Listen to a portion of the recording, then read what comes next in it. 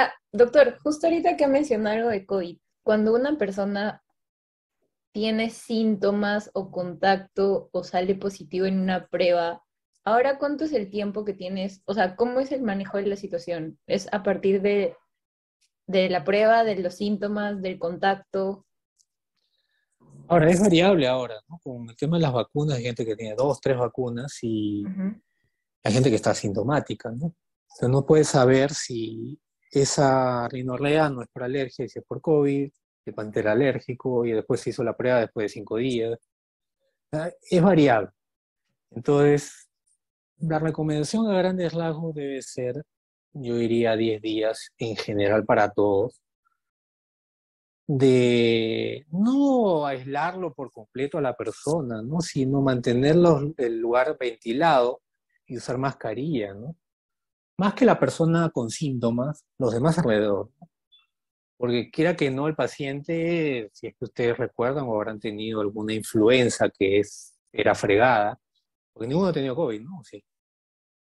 En las dos los anteriores. Ah, ya, Mireia se tenía. A Jürgen también, ah, no se salva. Milagros.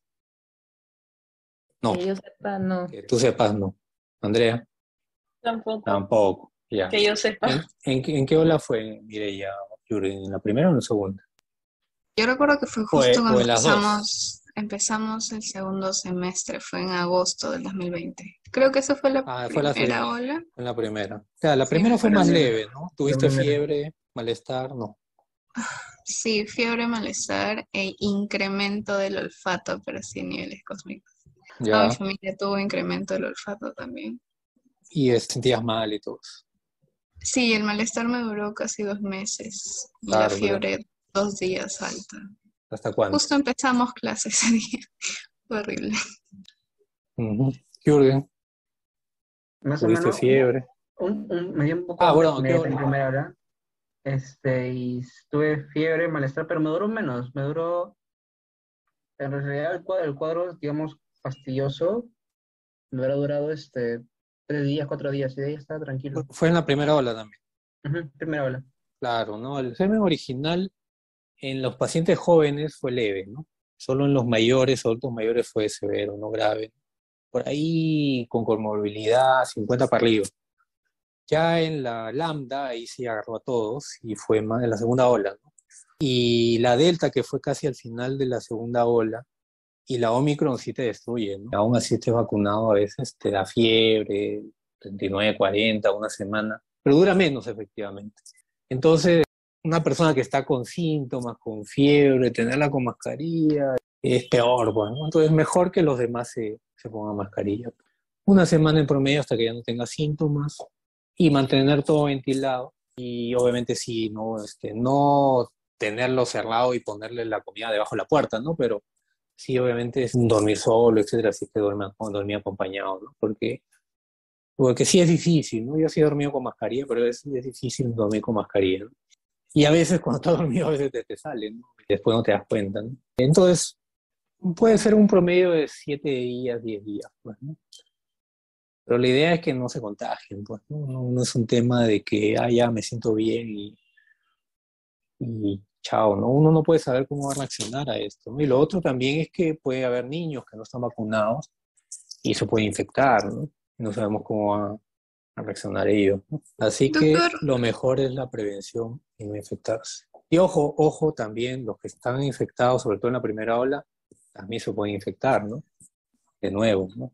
Doctor, Sí, y con respecto a, por ejemplo, de los pacientes que ya eh, les toca su tercera dosis, así, y están con síntomas, así sean antígeno positivo o negativo, pero puede ser un falso negativo, eh, se espera una cierta, como 15 días así para que reciban la vacuna, creo.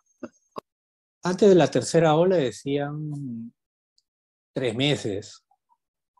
No me parece que sea tanto tiempo, pero no sé cómo será ahora.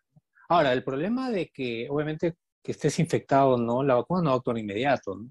Pero el problema es que la vacuna sí te da efectos adversos.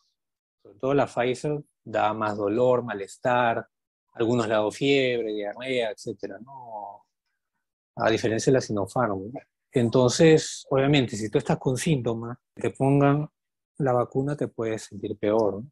más que complicarte, etcétera, ¿no? Porque al final es, no, es una bacteria, es un RN mensajero, ¿no? Es algo distinto, ¿no? ¿no? tendría por qué empeorarte la enfermedad, pero sí los síntomas. Ahora, ¿no? obviamente como a ti te tocó, Mireya, pues, ¿no? Si te da la infección y estás con malestar uno o dos meses, te ponen la vacuna, te vas a sentir peor, pues, ¿no? Pero la idea es que no tengas molestias, que ya estés tranquilo después de haber tenido la infección. Porque, ojo, la, la, vacuna protege a partir de las dos semanas en adelante. Igual, vuelvo a repetir, sigan usando mascarilla, no se junten, lávense las manos y esperemos que no nos infectemos de Omicron y de las siguientes variantes que volverán.